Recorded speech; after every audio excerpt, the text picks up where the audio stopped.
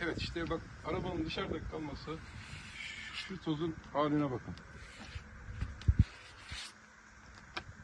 Elimin haline bakın. Toz. Fabrika açıldığından beri hiç rahatımız yok. Her taraf toz duman içinde. Ne ıspanak, pırasa, lahana, pislik içinde. Kokudan köyde duramıyoruz.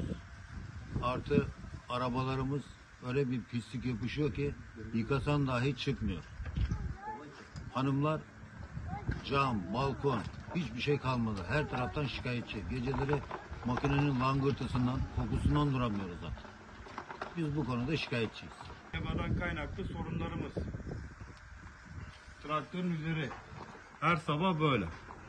Temizliyorsun yine aynı. Fındık bahçeleri aynı şekil toz içinde, pislik içinde. Sesi, gürültüsü, külü. Geldiği günden beri bizim hep büyük bir sorunumuz bu. Trafiği ayrı bir derdimiz. Köyün içinden geçen araçların hızı, bazen tonajlı araçların geçmesi, bahçemizden koparttığımız biberimiz olsun, domatesimizin olsun hepsi kül içinde. Biz bu fabrikanın külünden ve tozundan artı çok aşırı gürültüsünden çok rahatsızız. Genellikle gece ses daha aşırı ve daha yüksek şekilde çıkıyor. Gündüzleri bir şekilde bastırılıyor ama gece saat 12'den sonra o ses artıyor.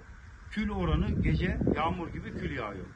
Şu an uzun zamandır yağmur yağmadığı için bahçenin üzerleri tamamen kül kaplandı. Kül yaprakları yaktı. Verim düştü. İşçiler bahçede çalışmak istemiyor. Aşırı külden dolayı.